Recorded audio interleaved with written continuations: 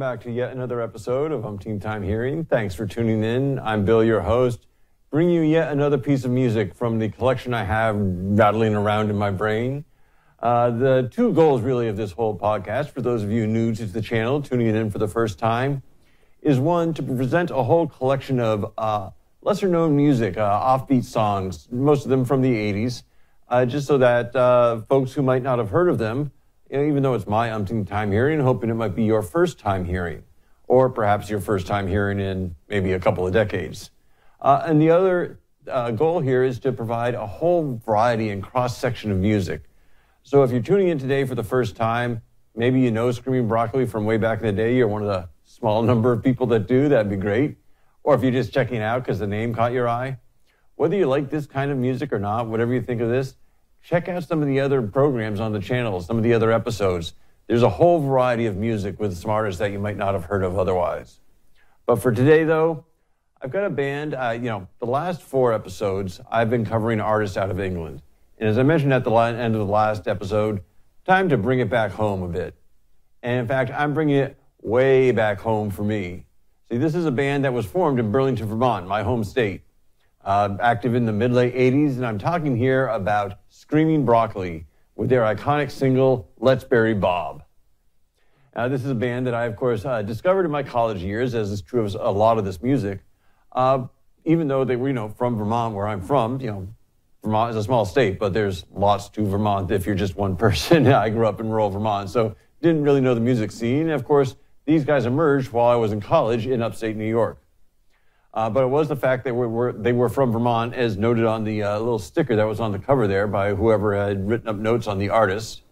I'll say, though, it was actually the name of the band and then the cover art, which you'll see in just a bit, that first caught my eye. Uh, and then finding out that they were from my home state, hey, had to give them a shot, played it, loved it a lot, played it on the station all the time, and brought it home, played it for my friends when I would see them uh, in, uh, on breaks, one of those being a guy named Bob. So, needless to say, became a bit of a cult hit for us.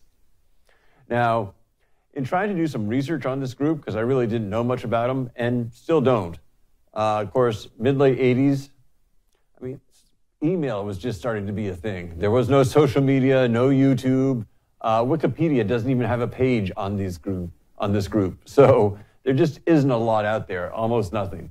Uh, one thing I did discover though is that there is a band with the exact same name, Screaming Broccoli, based out of Staten Island. Uh, started in, I believe, the 90s. Uh, largely a cover band doing uh, weddings, private functions, corporate events. Uh, don't know that much about them, but the only point to make here is that is not the band that we are going to be playing on the podcast today. Uh, I did come across one uh, blog spot called Willful Obsolete, I believe, as I recall the name, is pinned down in the top comment. I may be drawing a bit of a blank on the name. Willful, I think obsolete. Uh, only got a couple paragraphs on them, uh, but it's about the only information that's out there. So take a look at that if you want. Uh, I've pinned a couple of other videos of theirs down there. And as always, while you're down there, take a please click on the subscribe button if you're new to the channel. Don't forget the notifications bell if you want to hear about some of the other upcoming artists. Maybe you find someone different if you're not all that into Screaming Broccoli, or if you are into Screaming Broccoli, still find someone different. And then certainly appreciate the likes and leave your comments. Let me know what you think about the idea of this podcast and about the artists themselves. Uh, but for now, though, no need to wait any longer. Let's get right into it. This is Screaming Broccoli with Let's Bury Bob.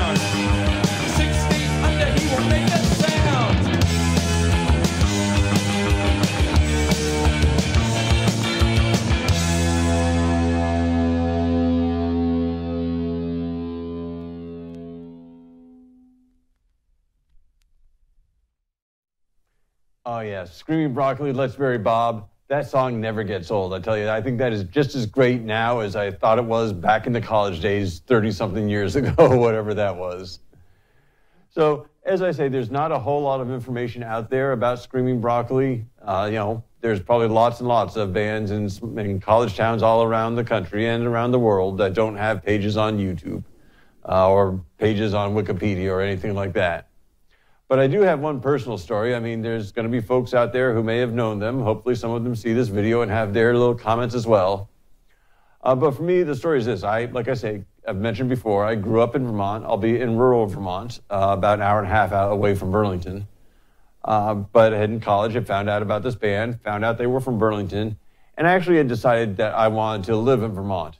Uh, it's just a part of how I grew up and wanted to come back to the States. So I moved, you know, wanting to get more uh, uh, exposure to you know city not city living, but a larger environment than the farms of rural Vermont.